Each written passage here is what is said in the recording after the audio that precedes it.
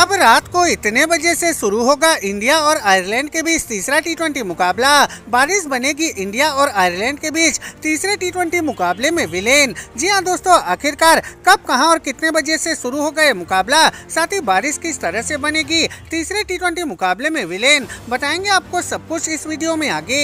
लेकिन इससे पहले अगर आप भी कर रहे हैं इस तीसरे टी मुकाबले का बेसब्री से इंतज़ार तो इस वीडियो को दिल से एक लाइक कर दीजिए। साथ ही क्रिकेट के मैदान से जुड़ी ऐसी ही और खबर पाने के लिए हमारे चैनल को सब्सक्राइब करना बिल्कुल भी ना भूलें। तो चलिए वीडियो को शुरू करते हैं। जसप्रीत बुमराह की कप्तानी में भारतीय टीम के युवा खिलाड़ियों ने अभी तक आयरलैंड की सरजमी पर बेहतर प्रदर्शन किया है। आपको बता दें कि टीम इंडिया ने आयरलैंड के खिलाफ खेली जा रही तीन मैचों की टी आई सीरीज़ के शुरुआती दो टी मुकाबले जीत लिए हैं और सीरीज़ में दो ज़ीरो की अजय बढ़त बना ली है। जसप्रीत बुमराह ने चोट के बाद अभी तक शुरुआती दोनों टी मुकाबले में दमदार प्रदर्शन किया है और तीसरे टी मुकाबले में भी वो अपनी गेंदबाजी से आयरलैंड के बल्लेबाजों की गिल्लियाँ बिखेरने की पूरी कोशिश करेंगे। इसके अलावा भारतीय टीम के कुछ युवा खिलाड़ियों पर तीसरे टी मुकाबले में हर किसी की निगाहें रहेगी, लेकिन तीसरे टी मुकाबले में बारिश मज़ा किरकिरा कर सकती है, या यूँ कहें कि तीसरे टी मुकाबले में बारिश विलन बन सकती है। दरअसल आपको बता दें कि तीसरा टी मुकाबला अब हमें बुधवार तेईस अगस्त को डबलिन में